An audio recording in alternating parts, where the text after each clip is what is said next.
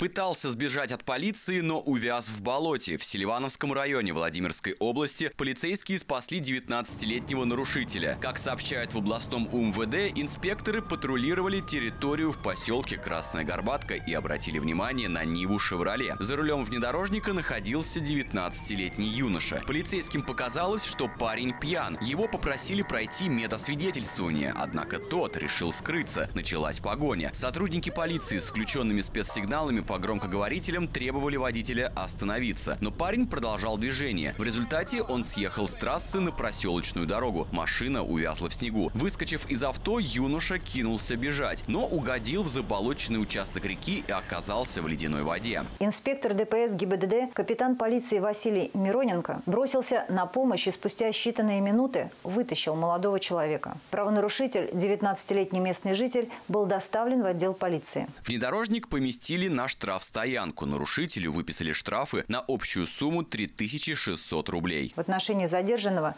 госавтоинспекторы составили 4 протокола об административных правонарушениях. Административный материал по факту управления транспортным средством в состоянии алкогольного опьянения направлен для принятия решения в мировой суд.